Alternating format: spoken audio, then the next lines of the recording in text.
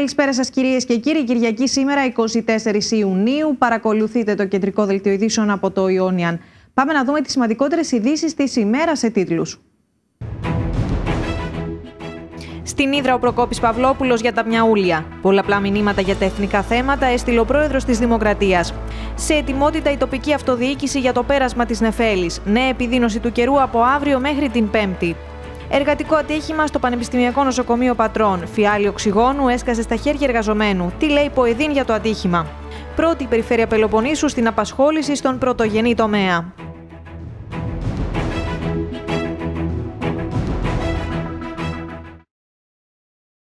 Στην Ήδρα βρέθηκε ο πρόεδρος της Δημοκρατίας, ο οποίος παρίσταται στις εορταστικές εκδηλώσεις που πραγματοποιούνται σήμερα με αφορμή τη συμπλήρωση 183 χρόνων από το θάνατο του Ιδραίου Ναβάρχου Ανδρέα Μιαούλη.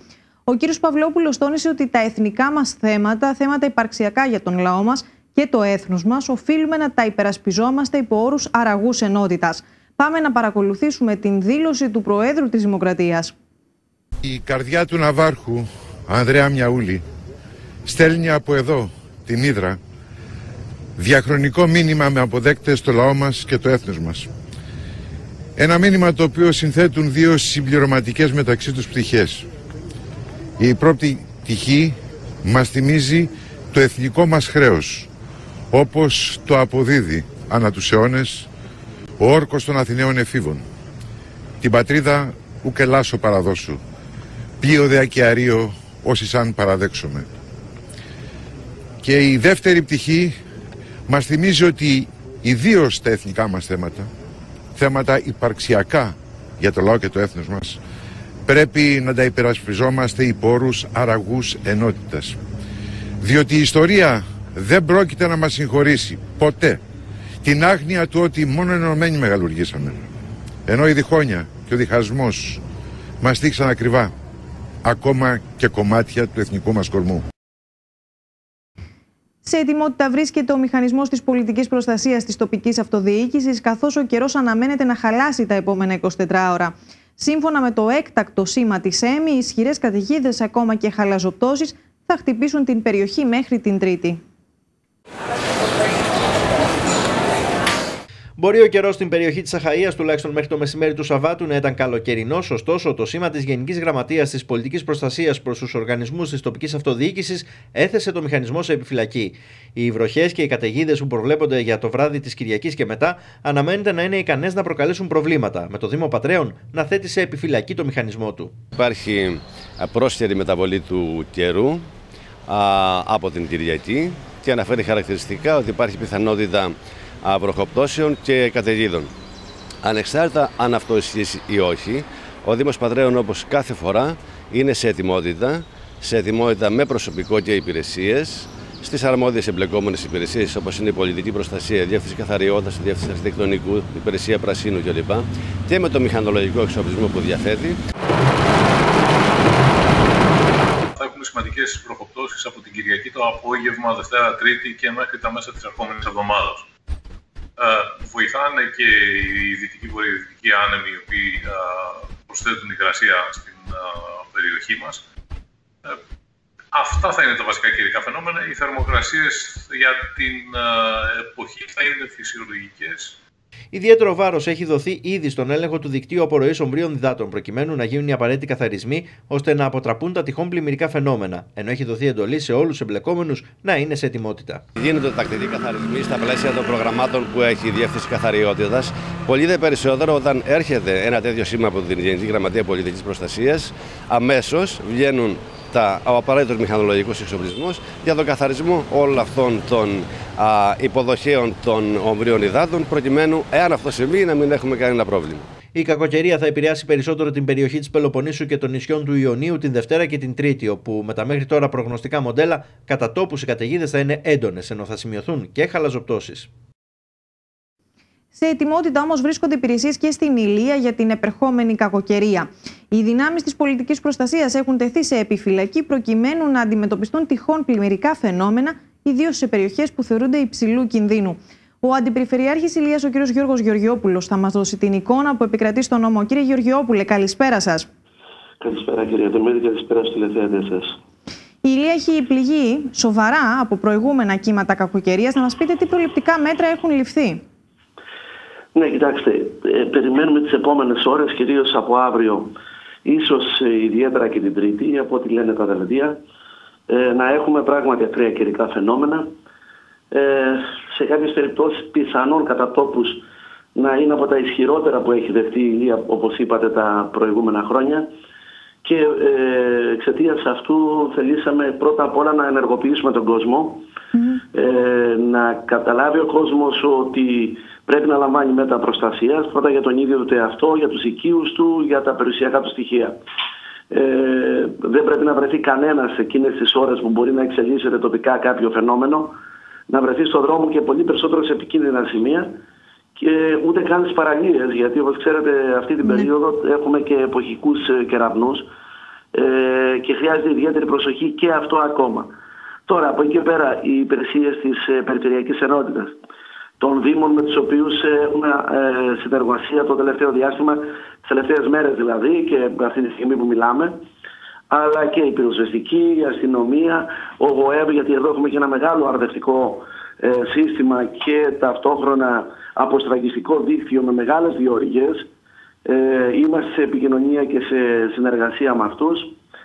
Αποφασίσαμε ότι θα πρέπει από σήμερα να κλείσουν ε, την ροή των, ε, των νερών του για, τα, για το πότισμα προς τις μεγάλες διόρυγες ούτως ώστε ε, να έχουν ένα περιθώριο να ε, διοχετεύσουν να μπορούν να δεχτούν και μεγαλύτερες ποσότητες που μπορούν να έχουμε το επόμενες μέρες.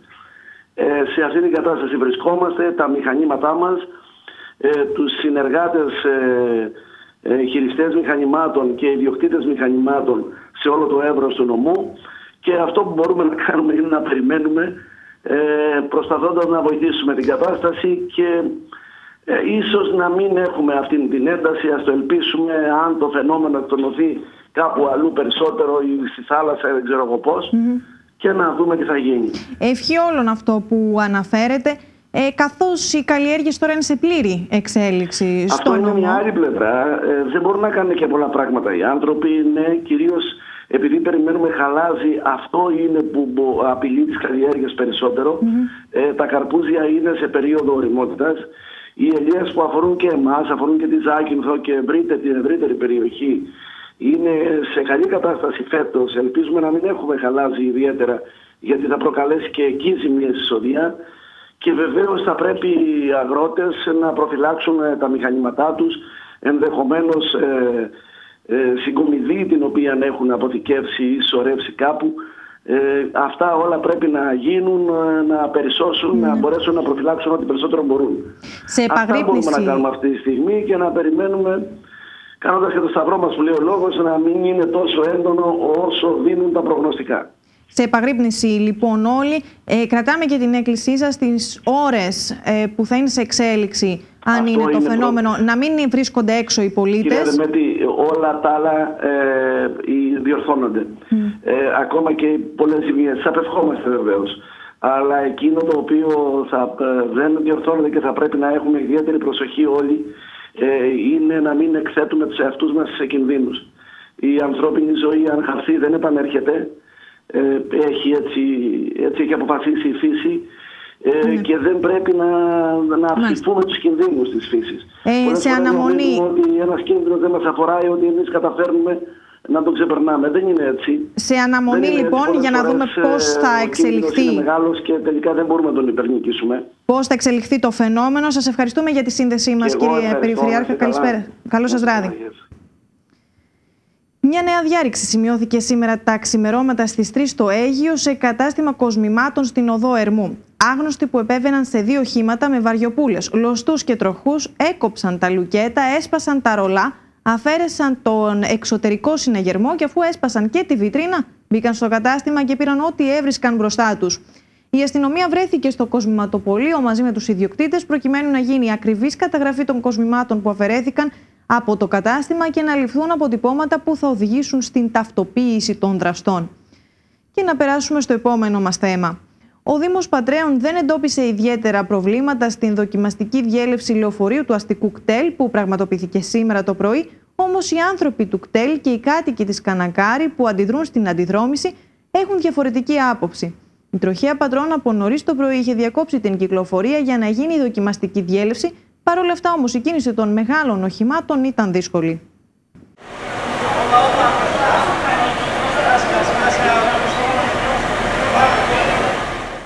Αν και άδειο και με πολύ μικρή ταχύτητα, το λεωφορείο του αστικού κτέλ της Πάτρας πέρασε οριακά από τις έντονες ανοφέρειες της οδού Κανακάριο, όπου έγινε δοκιμαστική διέλευση και μάλιστα και προς τις δύο κατευθύνσεις του δρόμου. Οι άνθρωποι του αστικού κτέλ δεν έκρυψαν τον προβληματισμό τους, καθώς τα λεωφορεία, όταν θα είναι γεμάτα με κόσμο, πιθανόν δεν θα μπορούν καν να διέλθουν από τα σημεία αυτά. Το αυτοκίνητο αυτό είχε ούτε το 1 τέταρτο των επιβατών που πρέπει να μετακινηθούν το πρωί. Και σε ορισμένα σημεία πρέπει να σταματήσει επί τόπου να δει αν βρίσκει ή δεν βρίσκει.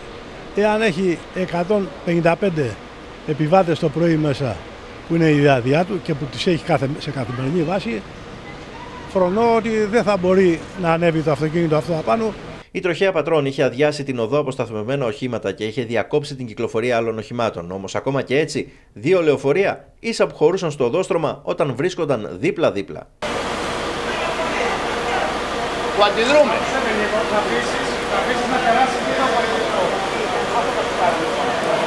Με ένα μόνο τμήμα των προβλημάτων δεν λύνεται το πρόβλημα.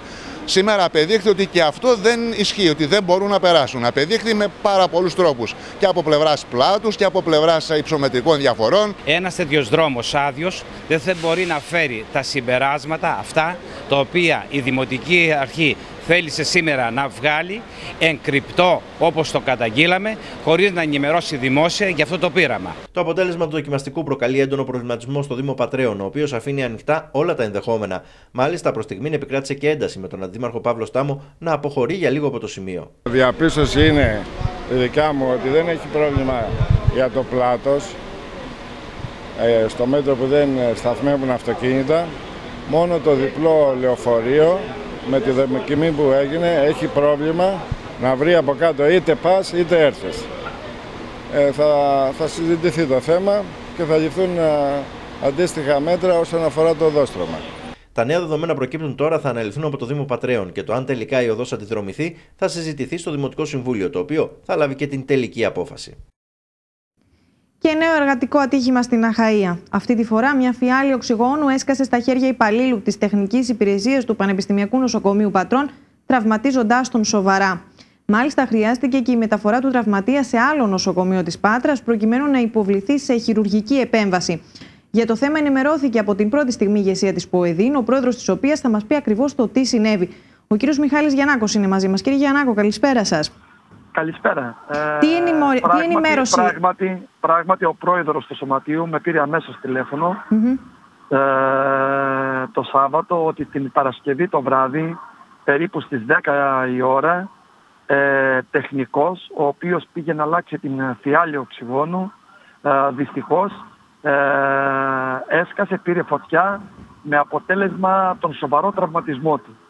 Ε, και μάλιστα μπορώ να πω ότι ευτυχώς την δοκίμασε την ε, μπουκάλα, τη φιάλη, γιατί αν δεν την δοκίμαζε και την άφηνε έτσι στην κλινική, φανταστείτε λοιπόν να έσκαγε όταν α, ε, γινόταν χρήση της ε, μπροστά σε ασθενείς και συνοδούς. Σήμερα θα θρυνούσαμε πραγματικά πάρα πολλά θύματα. Εδώ προξενεί πολύ μεγάλη εντύπωση γιατί αυτές οι φιάλες είναι ασφαλισμένες πώς μπορεί αυτή η φιάλη να έσκασε και να προκάλεσε τόσο σοβαρά τραύματα. Αυτό σημαίνει ότι υπήρχε αστοχία υλικού και βέβαια για όλα αυτά φταίει η υποχρηματοδότηση των δημόσιων νοσοκομείων που αναγκάζονται να παίρνουν υλικά ό,τι να είναι μόνο και μόνο για να μπορούν να τα βγάλουν πέρα. Μάλιστα. Από τι λοιπόν λέτε δεν οδηγηθήκαμε σε χειρότερες καταστάσεις. Ποιες είναι τώρα ναι. Φανταστείτε γιατί ο τεχνικός αυτό που πρέπει να κάνει είναι να αντικαταστήσει τη φύση και να φύγει.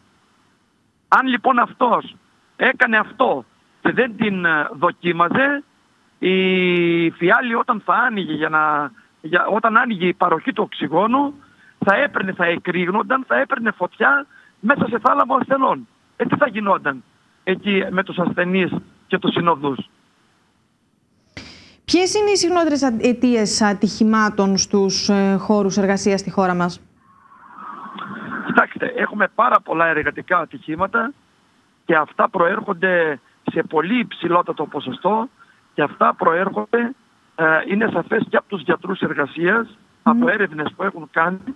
Ε, όλα αυτά προέρχονται ε, επειδή ε, στους χώρους δουλειάς υπάρχει μεγάλη εντατικοποίηση της εργασίας και πολύ μεγάλη, ε, και πολύ μεγάλη υποχρηματοδότηση λείπουν κονδύλια προκειμένου να αντικαθίσταται, να ανανεώνει το ιατροτεχνολογικός εξοπλισμός, να μην είναι επικίνδυνος ούτε για τους εργαζόμενους αλλά ούτε και για τους χρήστες των υπηρεσιών. Μάλιστα, είναι πάρα πολύ σοβαρά πάντως όλα αυτά που καταγγέλλεται. Είχαμε ένα ακόμη περιστατικό στην Πάτρα. Καθημερινά, καθημερινά πια ε, εκτιμώ ότι κατέτος είναι πάνω από χίλια τα περιστατικά εργατικών ατυχημάτων όταν ε, ήταν ε, μερικές δεκάδες πριν από τα μνημόνια. Και όσο πάνε θα αυξάνουν εξαιτίας των αυτών που περιέγραψα πριν. Μάλιστα, ένα ακόμη ενδεικτικό ποσοστό της Ελλάδας της κρίσης. Κύριε Γιαννάκο, σας ευχαριστούμε για τη σύνδεσή μας. Καλό σας βράδυ. Γεια σας. Κατέληξε η γυναίκα η οποία εντοπίστηκε από λουόμενους μέσα στη θάλασσα στην περιοχή των Βραγνεϊκών Αχαΐας χωρίς τις αισθήσεις της. Πρόκειται για 60χρονη η οποία διατηρεί φαρμακείο στην περιοχή και σύμφωνα με πληροφορίες η γυναίκα είχε πάει μόνη της για μπάνιο. Η γυναίκα, η οποία ήταν γνωστή στην περιοχή και ιδιαίτερα αγαπητή, αναγνωρίστηκε από τους γείτονες, οι οποίοι έφτασαν στο νοσοκομείο του Αγίου Ανδρέα αμέσως μόλις ενημερώθηκαν για το περιστατικό. Προχωράμε στο επόμενό μας θέμα. Από την Καλαμάτα, το Φάληρο και τον Βύρονα θα ξεκινήσει η διαθεσιμότητα της οπτικής σύνας που θα φτάνει μέχρι το σπίτι. Ο Δήμαρχος της Καλαμάτας Παναγιώτης Νίκας μίλησε για τα ωφέλη που θα προκύψουν τόσο για τους επιχειρηματίες όσο και για τους κατοίκους της πόλης, αλλά και για την συνεργασία του Δήμου με την Εταιρεία Ανάπτυξης Δικτύων Νέας Γενιάς. Εντός του Ιουλίου αναμένεται να ξεκινήσει στην Καλαμάτα η διάθεση της οπτικής σύνας που θα φτάνει μέχρι τα σπίτια, ώστε οι καταναλωτές να έχουν πραγματικά γρήγορο ίντερνετ. Ξέρετε, η WIND έχει, της έχει χωρηθεί το δικαίωμα για τα ψηφιακά ζητήματα στην περιοχή μας, όμως χωρίς τη συνεργασία με το Δήμο την αποδοτική συνεργασία, δεν θα μπορούσε να γίνει το έργο το οποίο έγινε.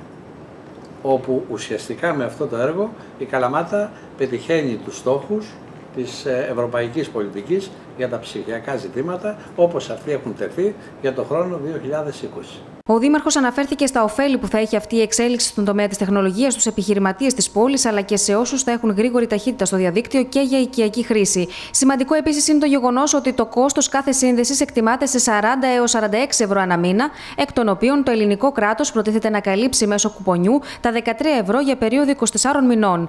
Το κουπόνι που θα λάβει κάθε δικαιούχος θα διατεθεί χωρίς εισοδηματικά ή άλλα κριτήρια και θα περιλάβει επιπλέον επιδότηση 48 ευρώ για την απόκτηση του κατάλληλου τερματικού εξοπλισμού.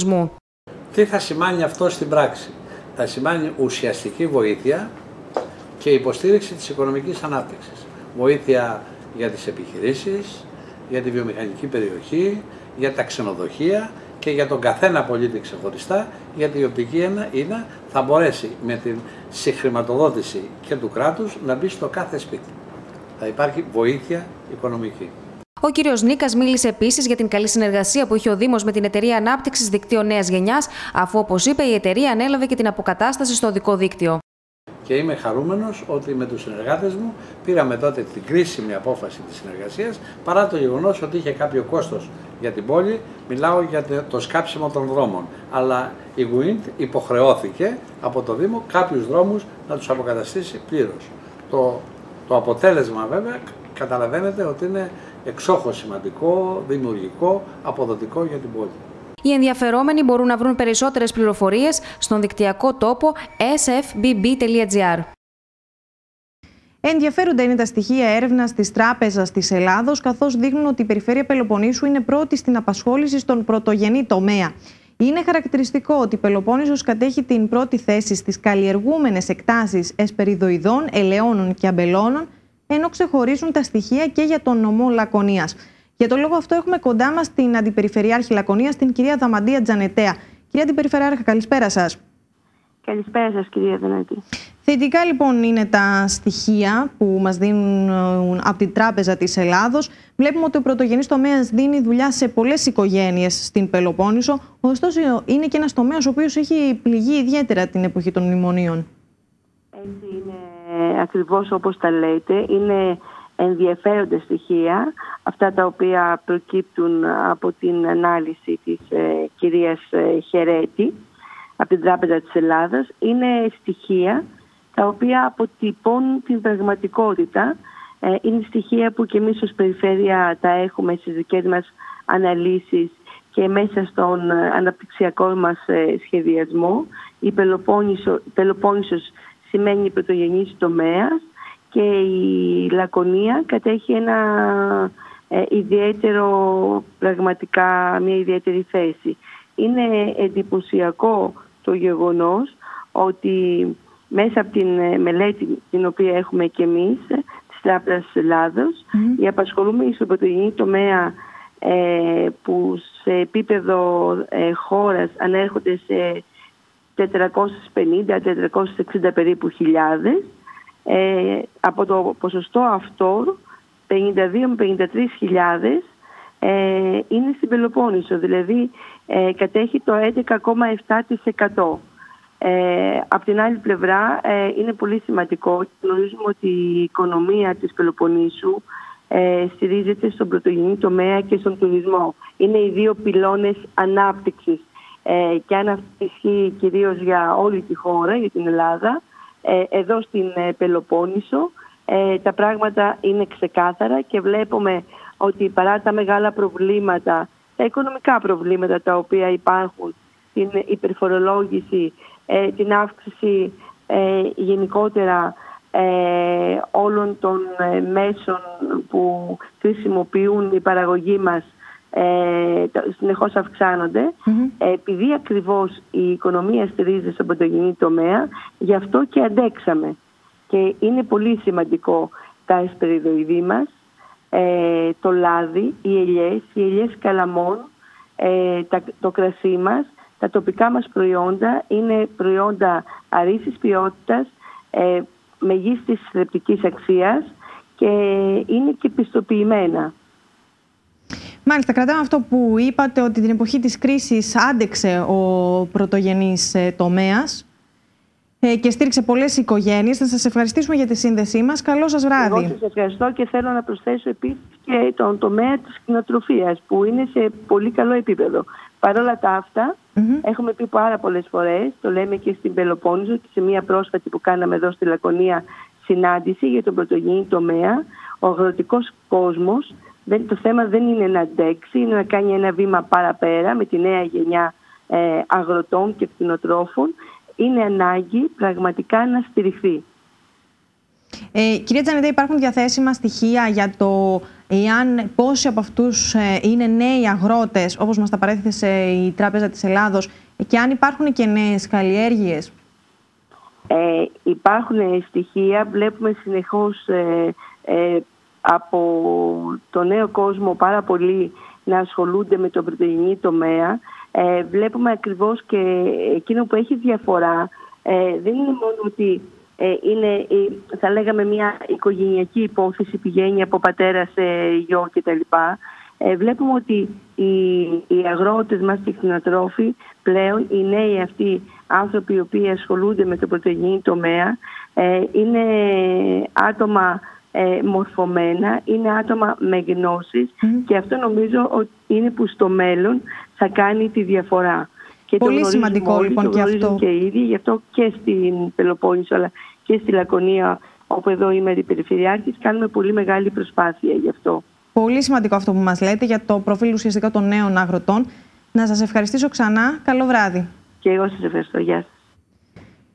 Γέμισε από κόσμο η αίθουσα συνεδριάσεων του ΤΕ Δυτικής Ελλάδας, όπου πραγματοποιήθηκαν οι εκλογές για την ανάδειξη των νέων συντονιστικών οργάνων στην Πάτρα. Η συμμετοχή ήταν ιδιαίτερη ικανοποιητική, ενώ ανάλογη ήταν και η εικόνα στους υπόλοιπους Δήμους στην Αχαία.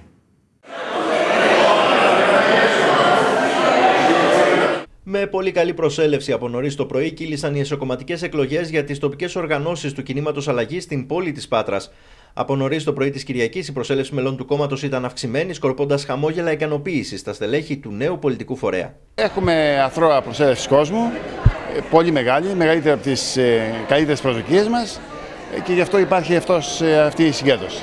Ελπίζουμε ότι οι εκλογές θα εξελιχθούν ομαλά. Ε, το αντίτιμο με απόφαση του κινήματος είναι μόλις 2 ευρώ, συμβολικό, είτε είναι κάποιος εγγραμμένος είτε όχι. Ε, οπότε είναι ευκαιρία όλοι που θέλουν και επιθυμούν να να ψηφίσουν και να συμμετάσχουν στην, στην, στο νέο ξεκίνημα.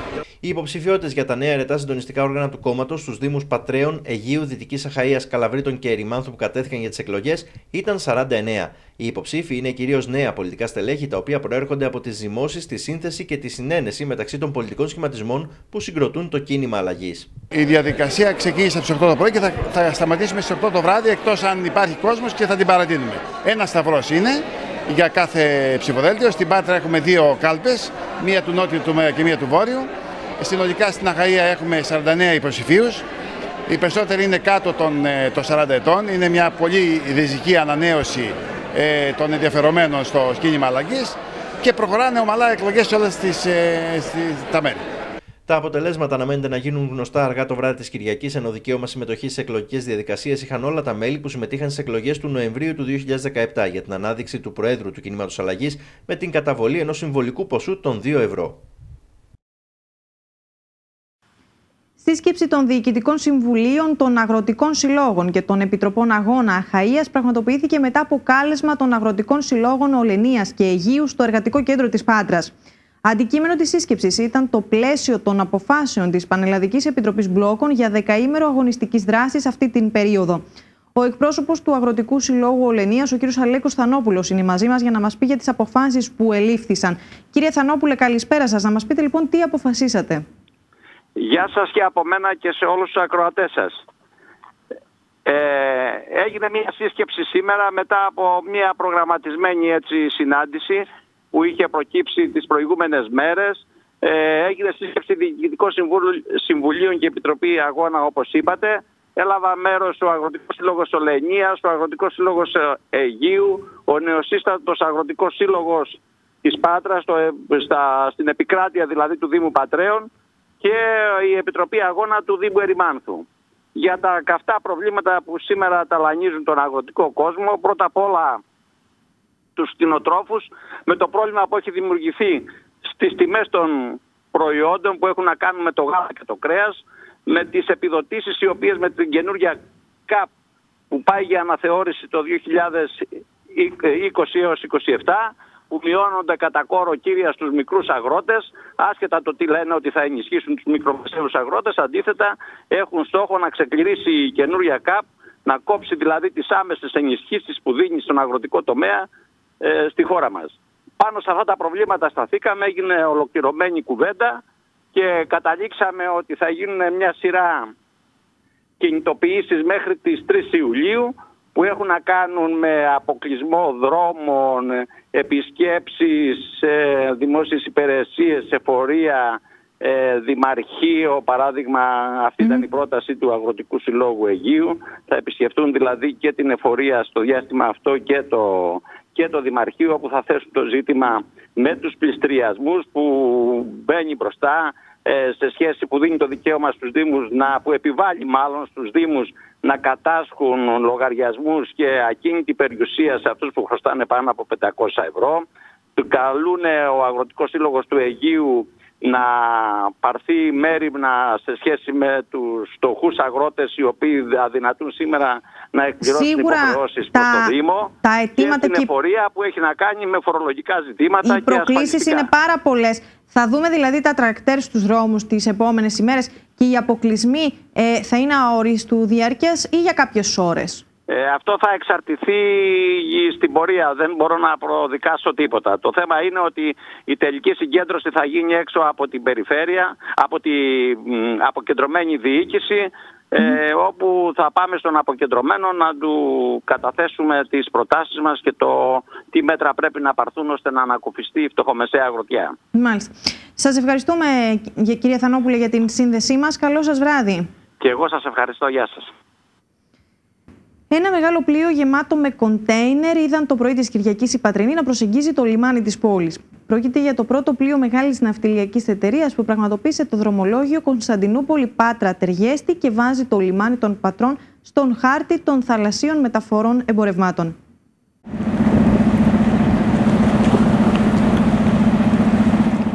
Σε μια νέα εποχή μπήκε το λιμάνι της Πάτρας, καθώς έπιασε το πρωί της Κυριακής το πλοίο της μεγάλης ναυτιλιακής εταιρείας UN, εγκαινιάζοντα τη νέα ακτοπλοϊκή γραμμή Κωνσταντινούπολη Πάτρα Τρεγέστη. Το δρομολόγιο αυτό βάζει για πρώτη φορά στον χάρτη των εμπορικών μεταφορών μέσω θαλάσσης στην Αχαϊκή πρωτεύουσα, καθώς από το λιμάνι της Πάτρας θα φορτοεκφορτώνονται πλέον εμπορευματοκιβώτια για την εγχώρια αγορά αλλά και άλλες περιοχές της Ευρώπης. Όχι μόνο στον τομέα των μεταφορών, αλλά και σε άλλα παράπλευρα επαγγέλματα τα οποία συνδέονται και με τη μεταφορά αλλά και με το λιμάνι της Πάτρας μας. Ο καπετάνιος του τουρκικού πλοίου Πεντίκ δήλωσε πως είναι χαρούμενος που είναι ο πρώτος καπετάνιος εταιρείας που πιάνει στο λιμάνι της Πάτρας, το οποίο θεωρεί ότι είναι ένα αξιόλογο σύγχρονο λιμάνι. We are coming the first time in the Patra Sport.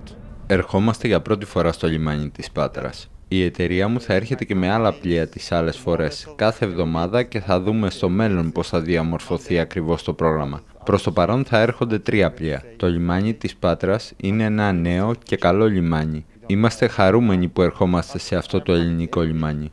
Στον αρχικό σχεδιασμό της ναυτιλιακής εταιρείας, η οποία διαθέτει ένα εκτεταμένο δίκτυο συνδυασμένων μεταφορών σε όλη την Ευρώπη, είναι σε πρώτη φάση να γίνονται τέσσερις προσεγγίσεις εβδομαδιαίως στο λιμάνι της Πάτρας, δύο ανακατεύθυνση, με προοπτική να αυξηθούν στο άμεσο μέλλον σε τρεις. Αυτή τη στιγμή βλέπετε ένα πλοίο γεμάτο το οποίο προέρχεται από την Τουρκία και όχι από την Ελλάδα. Δηλαδή, φανταστείτε την κίνηση που έχει η Τουρκία προς προς την υπόλοιπη Ευρώπη.